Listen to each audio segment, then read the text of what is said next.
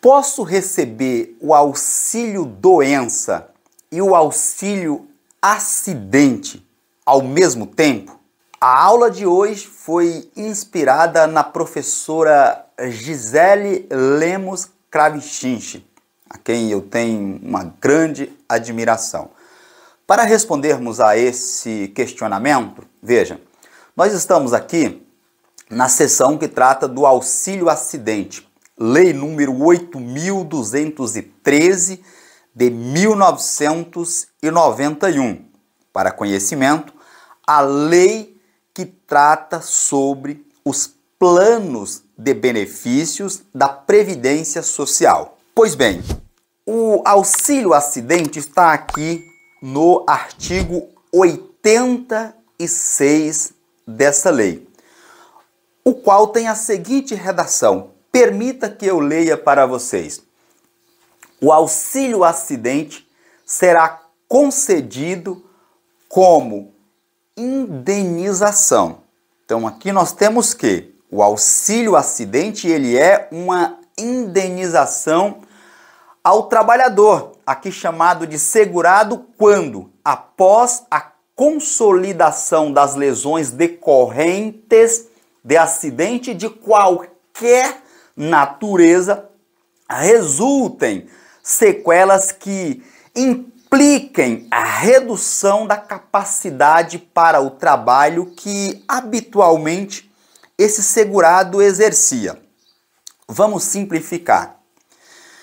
Eu sou segurado da Previdência Social, sofri um acidente de qualquer natureza e esse acidente ele irá implicar, irá ter como resultado em uma redução da minha capacidade para que eu consiga exercer a minha atividade, o meu trabalho.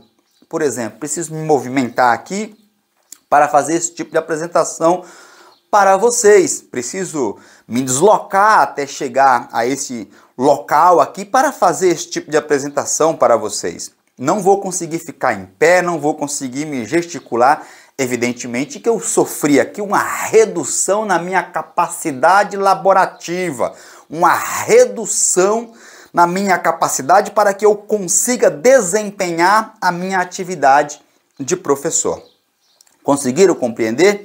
Dito isto, vejamos. Por ter caráter indenizatório, conforme vocês puderam ver, via de regra, geralmente você pode acumular esses dois benefícios: o auxílio acidente e o auxílio doença, chamado agora pela nova norma de auxílio por incapacidade temporária. Novo nome, nova nomenclatura trazida com a reforma da Previdência e inserida no regulamento da Previdência Social por meio do decreto 10.410 de 2020, o qual fez mudanças significativas no regulamento da Previdência Social, decreto 3048 de 1999. Pois bem, então, em resumo, você pode fazer a acumulação desses dois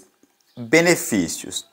Agora eu chamo a sua atenção para o seguinte: o artigo 124 da Lei 8.213 de 1991 diz que, salvo nos casos de direito adquirido, se você já tem o direito adquirido, aí é outra situação.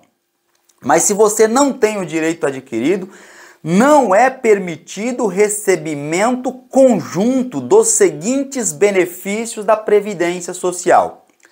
Eu não posso receber ao mesmo tempo aposentadoria e auxílio doença, isso não pode.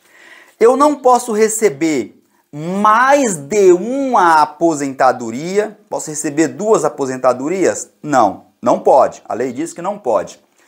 Eu não posso receber aposentadoria e o abono permanência em serviço. Não posso receber salário maternidade e auxílio doença. Ou eu recebo salário maternidade ou auxílio doença. Aqui no meu entender nós temos um problema. Por quê? pode advir daí é, sequelas, né, provenientes de um parto mal sucedido, por exemplo. Mas eu vou deixar essa discussão para outra oportunidade, tá? Eu não posso receber mais de um auxílio acidente. Então veja, a lei diz que eu não posso receber mais de um auxílio acidente. Agora, o auxílio acidente e o auxílio doença eu posso. Agora, gente, eu chamo a sua atenção para o seguinte: se esse auxílio doença for proveniente de alguma sequela, ou seja, for resultante do mesmo acidente que deu origem ao direito de receber o auxílio acidente, aí você não pode, tá bom? Tem que ser é, eventos distintos, eventos diferentes, ok? Porque o auxílio acidente é uma indenização. O auxílio doença, auxílio por incapacidade temporária, é proveniente de uma doença, usando um termo bem popular, né? Que eu tenha sido acometido, e me acometeu, e portanto eu não posso trabalhar né? para usar uma, a, a, a expressão mais simplista possível para que vocês entendam. Então, estou recebendo lá o auxílio acidente. Consigo outra atividade, ou já até exercia outra atividade, por exemplo, e aí fiquei doente. Permita que eu use esses termos, fiquei doente. Posso receber o auxílio doença, porque foram eventos distintos, diferentes. Isso fica bem claro quando realizamos a leitura do parágrafo 6 do artigo 104, 104 do Regulamento da Previdência Social, decreto 3048 de 99. Permita mais uma vez que eu faça a leitura do dispositivo para vocês. No caso de reabertura de auxílio por incapacidade temporária, auxílio doença, aqui já aparece com um novo nome. Veja, por acidente de qualquer natureza, auxílio por incapacidade temporária, por acidente de qualquer natureza. Lembraram-se? Né? Que tenha dado origem ao auxílio acidente. Esse acidente deu origem ao auxílio acidente, tá? este será suspenso até a cessação, o término do auxílio por incapacidade temporária, quando será reativado. Pode ser reativado, vejam, eu só não posso receber os dois ao mesmo tempo.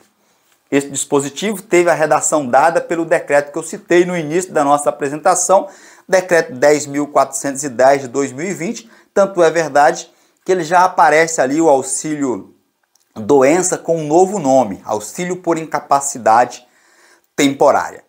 Não vou me aprofundar mais para não confundir, acho que aqui deu para compreender quando que eu posso receber os dois ao mesmo tempo e quando que eu não posso, posso ainda receber depois que o outro cessar. Né? Depois que o auxílio doença cessar, mesmo tendo havido aí, é, tendo iniciado com um acidente da, da, o, mesmo, o mesmo acidente que deu origem ao recebimento, posterior eu posso voltar a receber o auxílio acidente que é indenizatório depois que cessar o recebimento do auxílio doença. Só não posso receber os dois ao mesmo tempo. Beleza, pessoal? A repercuta abaixo nos comentários a sua compreensão sobre a minha apresentação. E aproveito a oportunidade para te convidar a se inscrever neste canal, ativar o sininho das notificações, a fim de que você seja avisado todas as vezes que fizermos uma nova publicação com assuntos importantes, como esse que eu acabei de te apresentar. Do mesmo modo, deixa o seu like, o seu joinha, para o YouTube entender que neste canal tratamos de assuntos importantes para a sociedade. E por fim, Compartilhe este vídeo em suas redes sociais e grupos de WhatsApp, a fim de que consigamos informar e, por consequência, ajudarmos ao maior número de pessoas possíveis. Um forte abraço e fiquem todos atentos até a minha próxima publicação.